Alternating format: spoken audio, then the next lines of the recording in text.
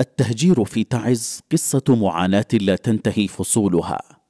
فالصورة هنا تنقل جزءا من الحقيقة فقط بعد أن ترك الناس مساكنهم وقراهم مغادرين إلى أماكن أخرى بعيدة هروبا من جحيم وويلات الحرب.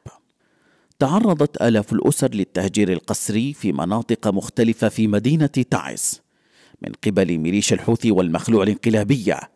شملت النسبة الأكبر منهم النساء والأطفال فيما تحدثت تقارير محلية ودولية عن روايات وشهادات مهجرين لمعاناتهم ومأساتهم الكبيرة.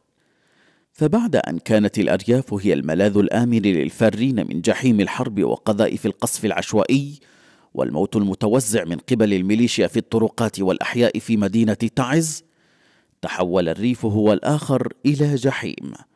بعد استهداف متعمد من قبل ميليشيا الحوثي وصالح الانقلابية لهم ومنعهم من العودة.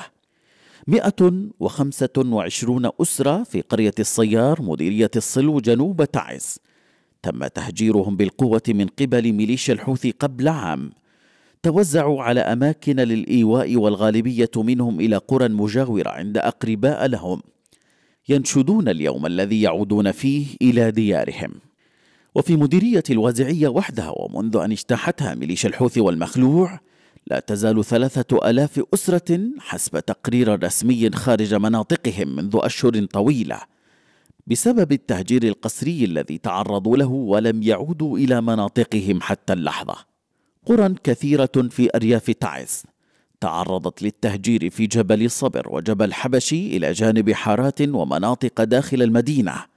لا يزال أهلها مبعدون عنها قسريا.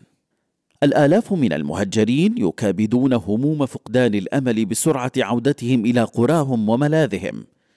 فمشكلات المأوى وتوفير الأكل والشرب والدواء ومتطلبات الحياة معاناة لا تنتهي. ولا يبدو أن أفق الفرج يلوح بحسم هذه القضية سريعا والتي طال انتظارها.